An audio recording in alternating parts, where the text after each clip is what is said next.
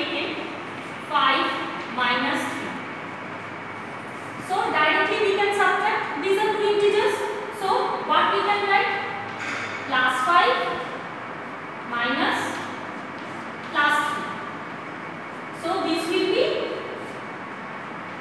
5 and we are changing the sign of the second integer. So this is plus, so this will become minus.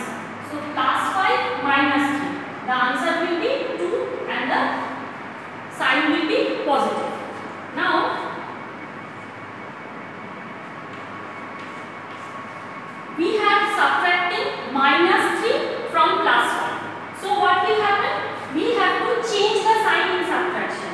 So 5 plus 3. The